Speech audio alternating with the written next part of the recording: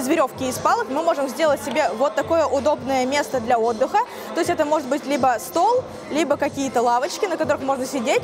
Научись вязать узлы, и ты сможешь смастерить мебель для пикника из подручных материалов. Этими и другими навыками в непринужденной обстановке делились со школьниками организаторы первой в городском округе экологической вечеринки. Она состоялась в выходные в центре «Навигатор».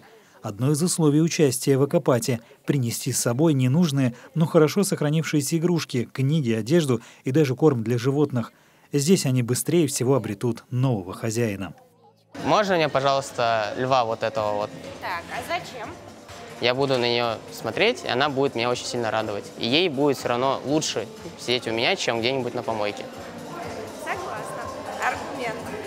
Сегодня у нас здесь собрались игрушки, которые вдруг стали не нужны, но мы решили дать им вторую жизнь. Менять одну игрушку на другую организаторам показалось скучно, и они предложили ребятам, участникам проекта «Юные защитники природы», за них побороться, сочинить сказку с добрым концом и желательно на тему бережного отношения к природе. Чтобы получилось больше красивых игрушек, юные экологи добывали эковалюту, выполняли несложные задания с предметами и одеждой – из юбочек, кофточек, джинсов и всевозможной бижутерии щелковский стилист Ксения Сапотова создала визуальную гардеробную. Все принесли сегодня мешки, мы их разобрали, аккуратненько повесили.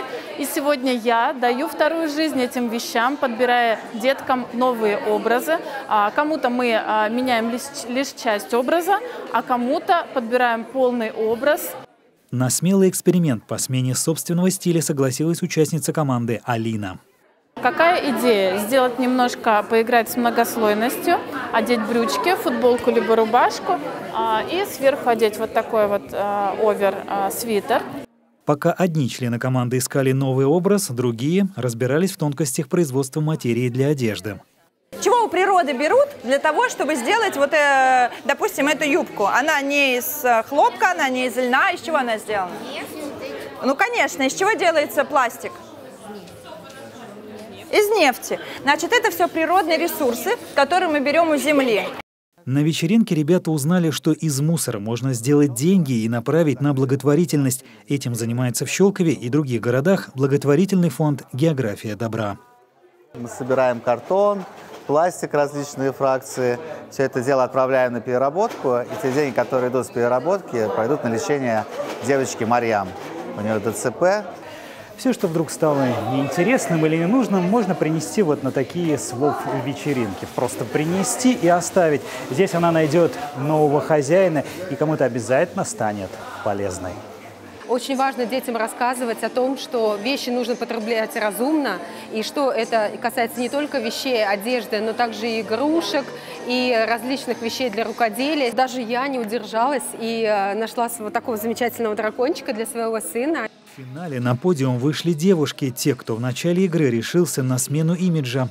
Идея с одежды удалась, у модниц поднялось настроение. Накопленные ковалют ребята потратили на игрушки. Многое из того, что молодые люди принесли с собой, оказалось нужным. А значит, эти вещи попадут в мусорный контейнер еще не скоро. Михаил Налетов, Щелковское телевидение.